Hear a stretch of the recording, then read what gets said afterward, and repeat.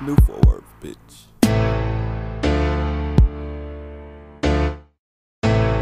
You ever leave your phone at home? You come back in the house, your girl be like. See you a dog ass nigga. I went through your pictures, your inbox on Facebook, your DMs on Twitter. Boy, you a hoe. I trusted you, nigga. Why did you come here? You shoulda went with her. Your messages say that you went to go get her. The fuck did y'all do? I know that you hit her. Oh, lying ass nigga, I'm trying not to hit you. You're wasting my time. Like, why am I with you? And I'm like, why would you go through my phone? Like, what would that get you? A thirsty ass bitch all in my inbox, keep sending me pictures. Man, come on, niggas.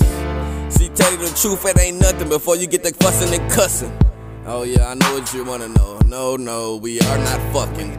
No, really, ain't shit going on. If you trusted me, you wouldn't have went through my phone. She was like, fuck that nigga, you wrong. You out with these bitches, I'm at home alone. Getting ignored when I'm calling your phone. Saying you at the studio making some songs. Come to find out you with this bitch all alone. You do me so wrong, boy, you gon' see when I'm gone. I'm like, go ahead. She didn't like that. She got the swinging. I ain't even fight back. She like, what's up with these damn messages? I say, I don't know. I ain't even type that. I ain't even write back. She like, nigga, please explain these statuses. Why did you like that? I'm like, okay, I ain't gonna lie, it was just a little slight chat, but it ain't like that. She like, stop lying, I know you fucking around. You know how many niggas I done shot down, even when your sorry ass wasn't around. I guess is what I get for trying to stay down, but I should've known. Every time you come to my place, your phone don't vibrate, you pick it up and migrate.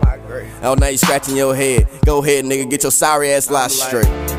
I ain't gotta lie, and you search for shit I ain't trying to hide. I told your ass I didn't reply, and that studio shit is not an alibi. See, first you said it wasn't like that. And then you said it was a slight chat. And then you said you didn't reply. Man, come on, nigga. Why lie? Man, just know I don't fuck with her. I didn't go get her, and I sure didn't hit her. And she know that I am your nigga. And that I'm with you, so get on, nigga. Man, these hoes don't care, that don't mean shit. And how I supposed to know that you ain't even hitting? It's kinda funny that she know a lot for your sorry ass not to talk to her. Speaking of, what's her number? I'ma call her up so I can talk to I'm like, for what? What do y'all need to discuss? I already told you that we didn't fuck. Like, shut up, nigga, you know what?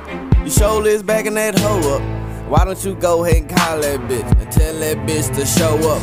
I hate to have to beat that hoe up. I'm like, why the fuck was you trying to fight? Then she was like, if you can sneak with the bitch, I can beef with the bitch. Matter of fact, you can keep that bitch. If I want the bitch, I can have the hoe. I shouldn't have said that. She got mad in the hoe. She threw my phone and she went outside and she slammed the door. I'm like, why is you causing a scene for? I told your ass ain't shit going on. She like, nigga, shut your lying ass up, cause I ain't even go through your phone.